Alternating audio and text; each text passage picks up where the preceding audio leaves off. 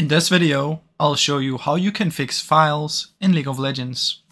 The first one is open up League, come here and go to settings, choose League of Legends and press repair.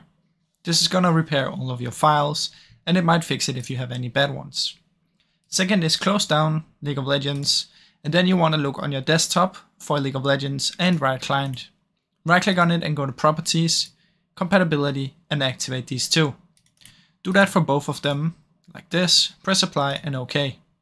If you don't have them on your desktop, you can search for it.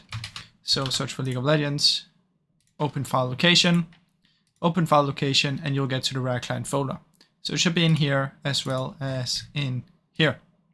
So once you make sure that you do that, uh, you probably have fixed your files already.